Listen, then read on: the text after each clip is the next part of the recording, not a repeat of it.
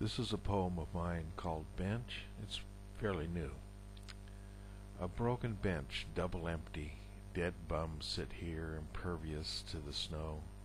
All those hours of scamming some vodka, coins collected, the night window of the store, tired girl selling booze.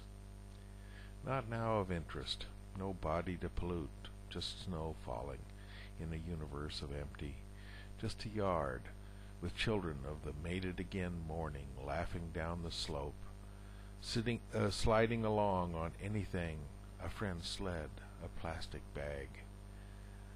Drunken nights unremembered come to an end, uh, came to an end, daylight or night time, a body by the apartment entrance, slinking, uh, a silent ambulance slinking away, scene of the crime, in the cold silence of death.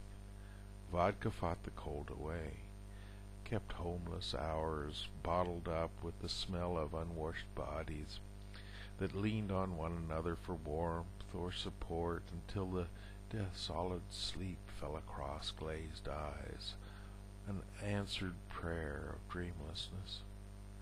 A coma stretched thin, as a nosebleed from which they finally died, no clots to stop the exodus.